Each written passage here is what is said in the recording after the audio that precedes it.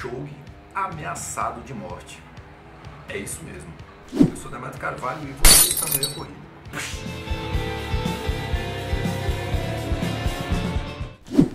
É, meus amigos, você não entendeu errado não. A internet pode ser bem tóxica e Eliud Kipchoge sofreu ameaças de morte, tanto ele quanto a sua família, o local de seu treinamento, a sua mãe isso depois do episódio da morte de Kelvin Kipton. A gente relatou aqui que muita gente ficou ali acreditando que Kipchoge poderia estar por trás disso. Ele falou que isso foi terrível para ele, foi o dia mais triste da vida dele. E ele falou que isso inclusive atrapalhou o seu preparo para a maratona de Tóquio. Ele ficou três dias sem dormir.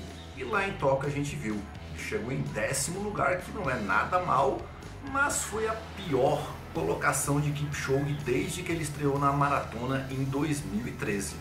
Isso tudo ele relatou à BBC África e eu vou deixar o link aqui na descrição para que você possa ver completo. É bem longuinho, tem bastante coisa, bastante detalhes, como ele falando que teve que mudar ali o dia a dia dos filhos dele porque ele ficou com medo da proteção dos seus próprios filhos. Ele relatou o seguinte: Fiquei chocado com o que as pessoas diziam nas redes sociais, que eu estava envolvido na morte deste rapaz, que era obviamente o Kelvin Kipton. Recebi muitas ameaças, queriam queimar o centro de treinamento, queriam queimar os meus investimentos na cidade, a minha casa, a minha família, e isso não aconteceu, mas é assim que o mundo é. E ele também falou que perdeu cerca de 90% dos amigos. Gente que treinava com ele passou a tratar ele de uma forma ali um pouco diferente.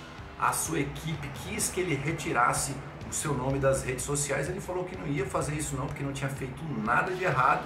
Tá lá nas redes sociais, mas ele disse que hoje em dia ele não confia nem mais na própria sombra.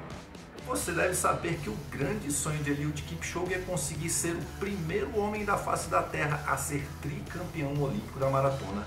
Ele vai para a maratona de Paris, que tem uma altimetria lá que não ajuda muito o tipo de prova que ele costuma fazer, mas a gente quer ver ele pleno em ação lá para ver se ele termina de entrar na história, porque é óbvio que ele já está na história para você acompanhar essa saga, você se inscreve aqui no canal porque a gente com certeza vai estar tá de olho nisso daí e vai relatar. A gente se vê no próximo vídeo live corrida, seja o que for. Hasta la vista, bem.